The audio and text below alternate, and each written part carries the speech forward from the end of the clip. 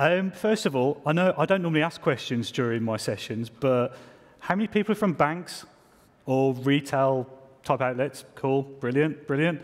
Um, how many people are from what you would class as a fintech? Brilliant, thank you. How many people are sitting here because the other sessions are full? No, no. thank you. Um, so, I'm not a clicker. This is a problem when you uh, move over, move over quite quickly. So, um, as, uh, as the introduction said, thank you, Kashlani. Um, I'm Richard Smith. Uh, I'm an independent architect. Uh, generally do enterprise architecture um, and um, consultant, depending on whether I'm adding value or not, to be honest. Um, in recent years, I've provided uh, services within the financial industry, um, in part facilitating digital-related initiatives and uh, PSD2 compliance. Um, these interactions have led to two organisations choosing to implement uh, WSO2 open banking solutions. What's wrong with this? Which basically means that the, uh, the titles are lie. I didn't buy them. Obviously, the banks did. Um, yeah, so um, I also like the colour orange, but that's not a good reason to choose WSO2. Honest, you know, we all like orange, but that's not a good reason.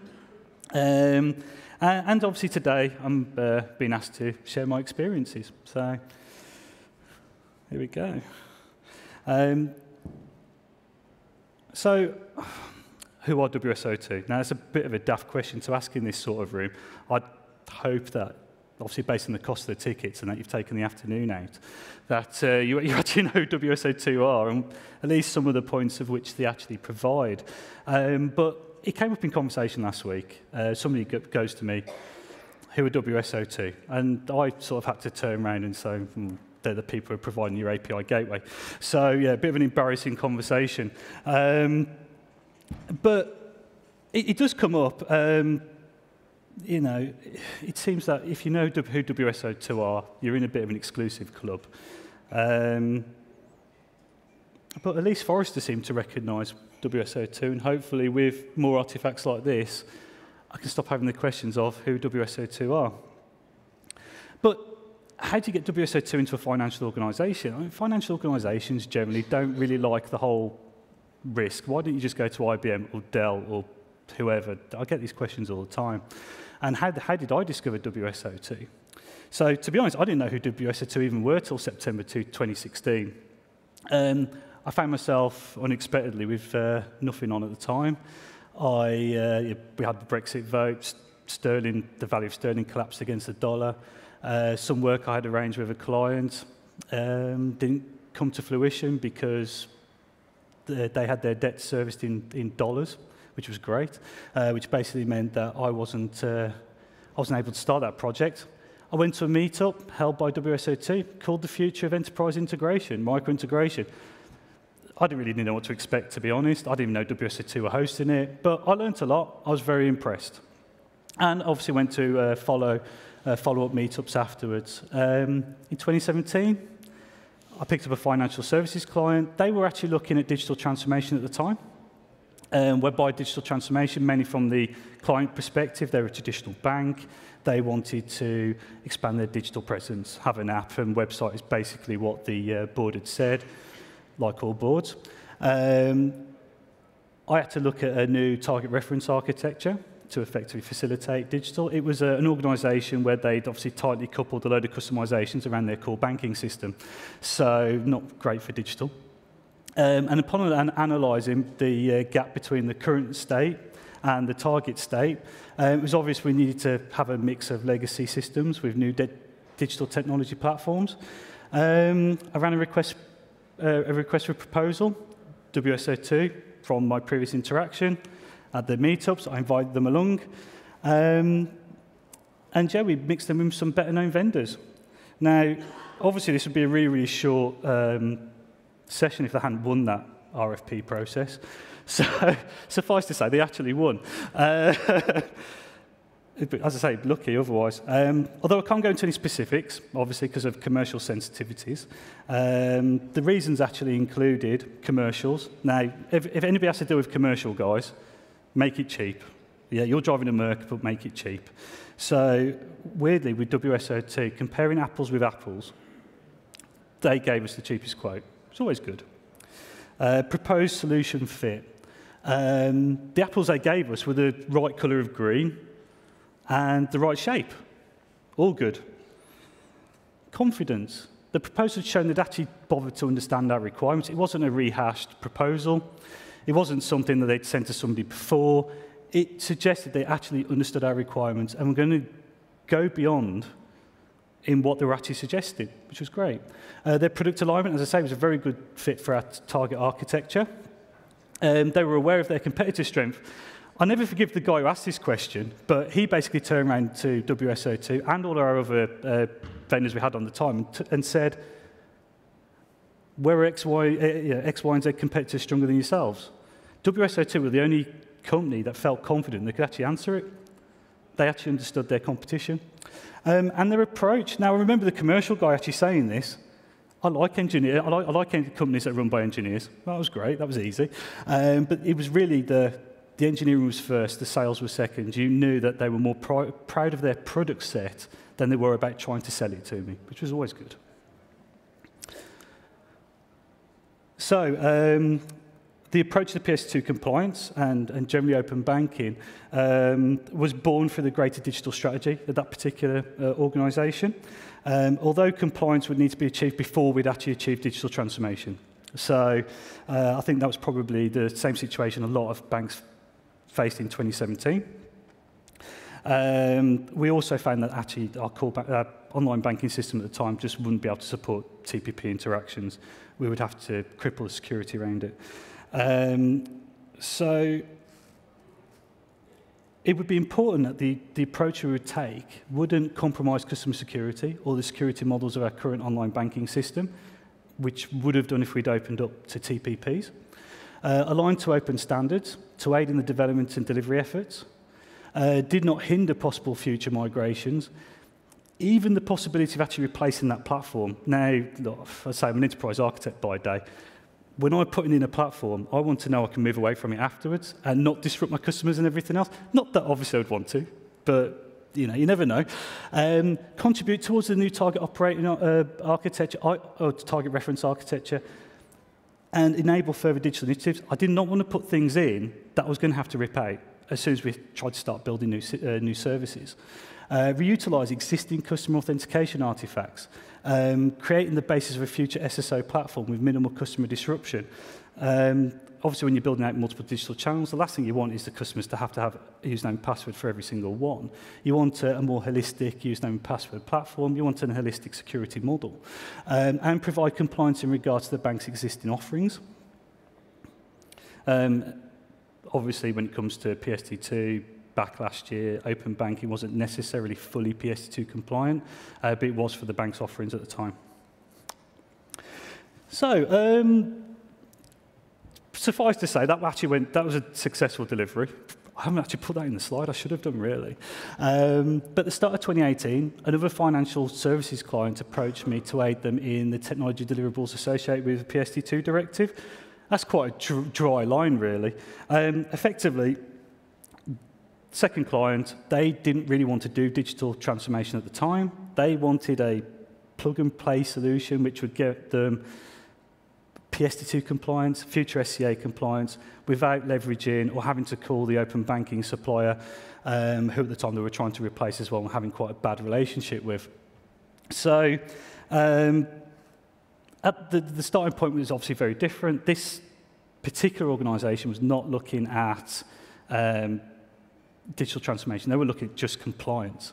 But at, the, at that point in time also, 2017 it was quite easy. There was a few parties. 2018, in January, every man and his dog were offering an apparent solution to PSD2. It's the same as, uh, it, I mean, it's like GDPR compliance. You have companies come up to you, oh, we can make you GDPR compliant. I had Infoblox come up to me and go, oh, we can make you GDPR compliant. They're a DNS solution provider. Um, but, you know, every man was basically going, yeah, I can give you a PSD2 solution. Brilliant. Gives me a lot more competition. Um, and many of those companies were actually hadn't got a banking client before anyway. Um, so they were willing to give very, very attractive commercials, which was the top priority, unfortunately, on this particular project. Um, but with acknowledgement that there might be a digital strategy in future. Look, Richard, if you can fit it in and it's cheap enough, yeah, do what you need to do. So, I'm going for this probably too quickly because I was compensating for Seshika's session.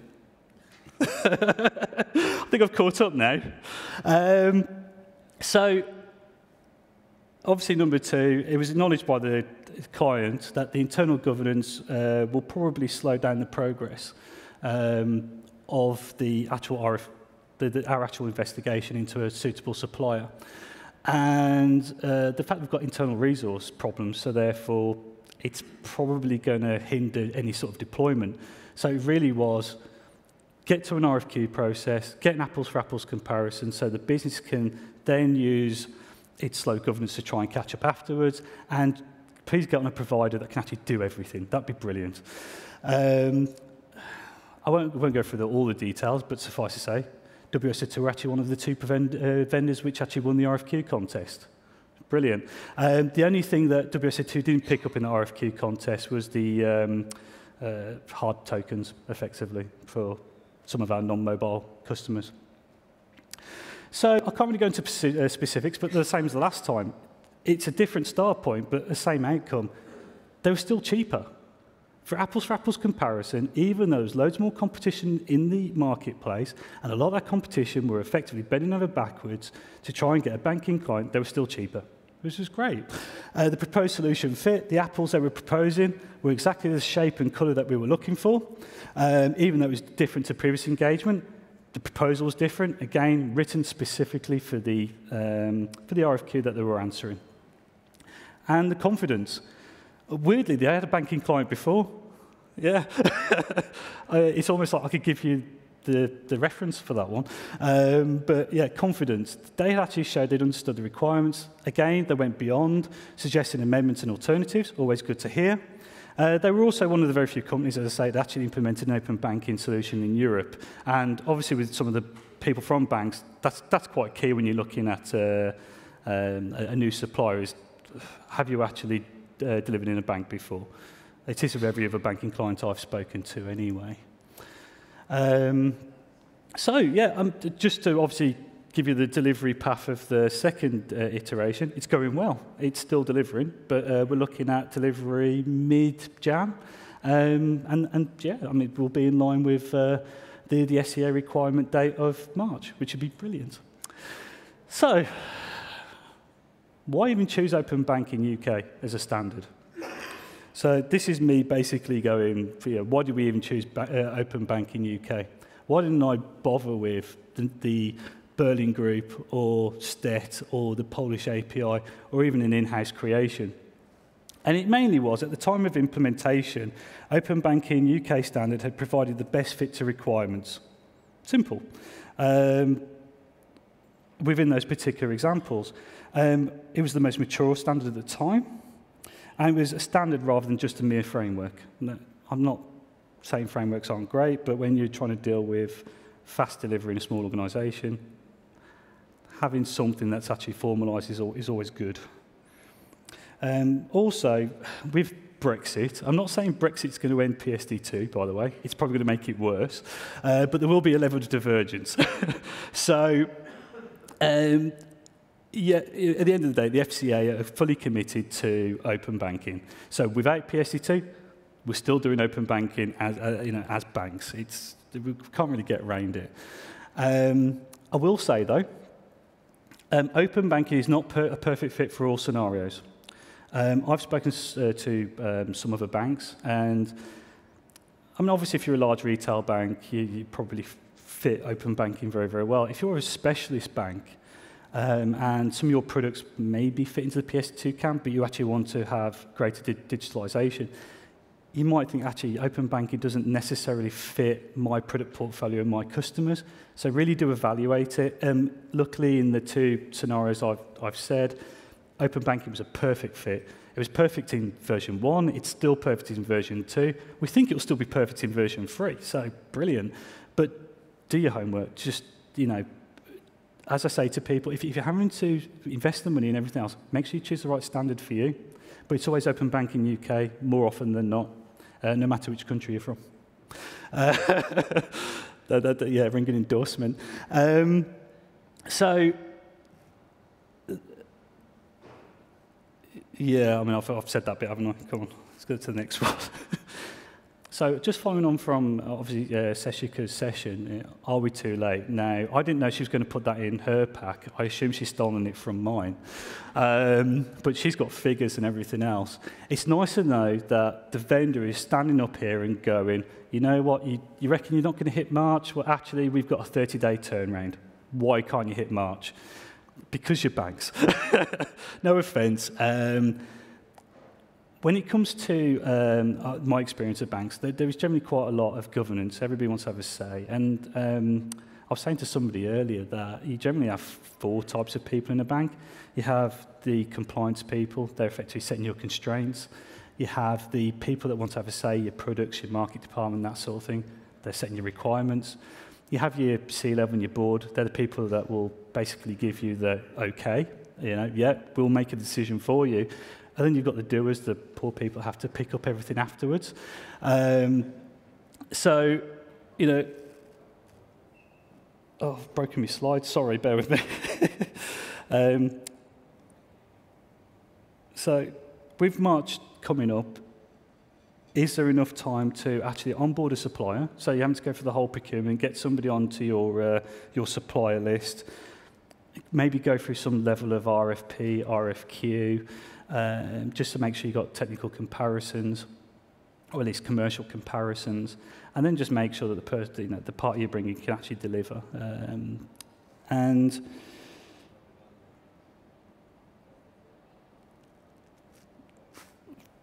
that standing aside, you obviously have to decide whether you know there is enough, whether we are too late, uh, whether there is enough time to actually implement. Uh, I'm just going to bring up another point I've obviously put on this slide here, probably in the wrong place. I did do this on Friday very, very late. Um, that obviously we've got the application for backup interface exclusion. So you might have to ask yourself, why would you bother implementing an, a standalone uh, open banking solution that provides API access? So you, you're building all this, just have to provide a backup interface just to have to basically go, well, your backup interface is use my, um, use my normal online banking channel, which I was trying to avoid having to cripple for TPPs to actually access. Um, the application of backup interface exclusion, I can't tell you what that looks like in terms of the UK. The FCA form formalising that process in January. The FCA have said that if you are looking to apply for a backup interface exclusion, do it sooner rather than later. January to March, because obviously if you're turned down for your backup interface exclusion, you're going to have to build an alternative as well.